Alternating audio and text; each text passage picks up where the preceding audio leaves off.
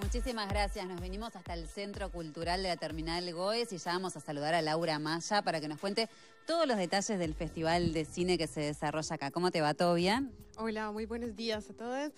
Eh, bueno, tenemos la gran alegría de estar acá, es en el Centro eh, Cultural Terminal Goes, en donde es una de nuestras sedes para Montevideo del festival que arranca hoy eh, en Salacita Rosa a las 7 y, 30 de la tarde.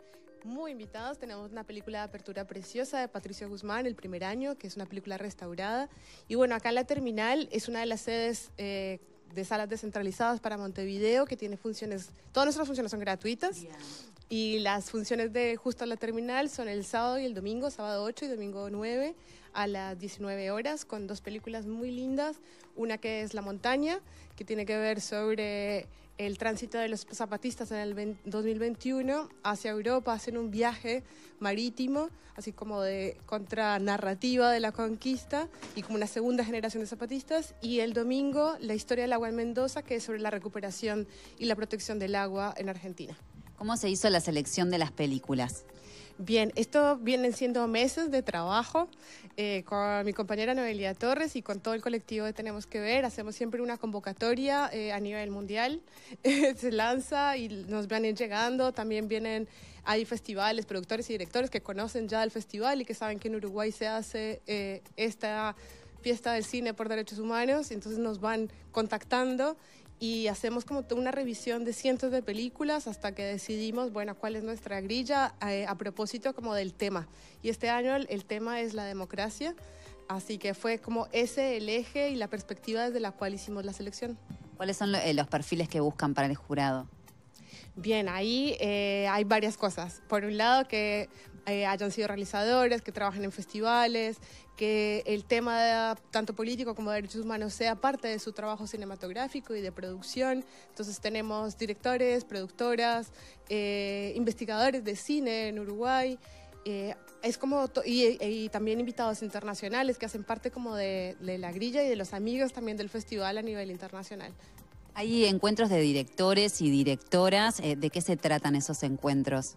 Bien, esta es una edición muy especial porque tiene el jueves 6 a las 7 de la tarde sí, a las 7 en Cinemateca, eh, dos avances de películas uruguayas de los realizadores Jorge Fierro y Sofía Betarte, que nos van a mostrar un poquito de lo que va a venir, de lo que vamos a tener que ver en breve, y ahí vamos a poder dialogar sobre cuáles son estas películas, por qué llegaron estos personajes, estas historias en Uruguay, y vamos a estar como con ellos para, para dialogar. También hay dos funciones especiales con los directores César González, que viene de Argentina, la película Al Borde, eh, este es el viernes a las 21 horas en Cinemateca y el lunes 11 a las 7 de la tarde en Cinemateca estaremos con Aldo Garay que presentará eh, su película Carmín. Laura, ¿qué importancia tiene la temática que eligieron este año, la democracia, precisamente en un año electoral en Uruguay? Bueno, como dices, justamente sentíamos que no podíamos dejar pasar de largo esta oportunidad para hablar de la democracia. Sentimos que eh, en este año bisagra entre los 50 años del golpe y los 40 de regreso de la democracia, que se cumplen el próximo año, era la oportunidad perfecta para pensar, bueno, cuáles son como estos... Em, por así decirlo, como avances o perspectivas que nos dejan este tiempo para pensar en cuatro ejes, que son los que planteamos en el festival. Por un lado, eh, los mecanismos democráticos, que Uruguay además tiene bastante para decir sobre eso, los plebiscitos, los referendos, bueno, un montón de voto directo que en otros países de la región no lo tiene.